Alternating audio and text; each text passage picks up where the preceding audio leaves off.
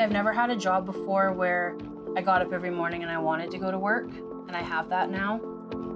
The training they receive at New Afton will allow them to apply for certificates of their skills, and then those skill certificates are nationally recognized. MiHR allows us to align our provincial curriculum with the national occupational standards. The framework is a blended delivery model, and that model includes classroom based theory, also safety tickets, and then a significant time at the mine site.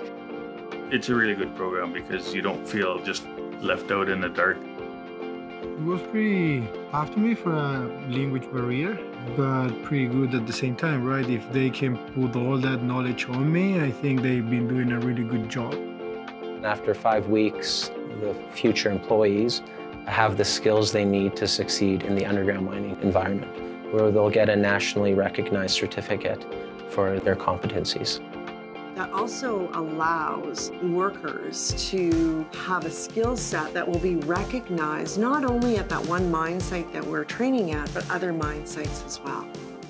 Anybody can come, they can get trained, build experience without pressure and without feeling like they had to have previous experience.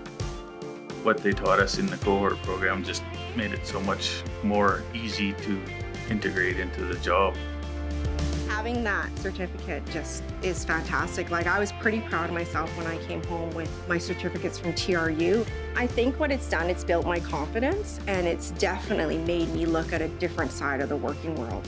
By the time you complete the program, you feel very confident that you're going to be able to just step into your role and do your job.